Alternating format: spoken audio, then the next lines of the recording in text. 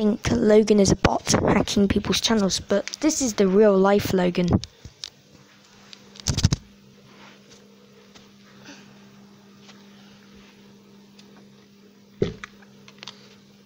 Logan's real real name is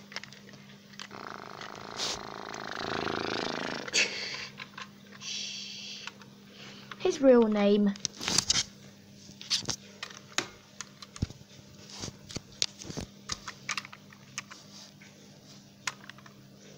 is made in China.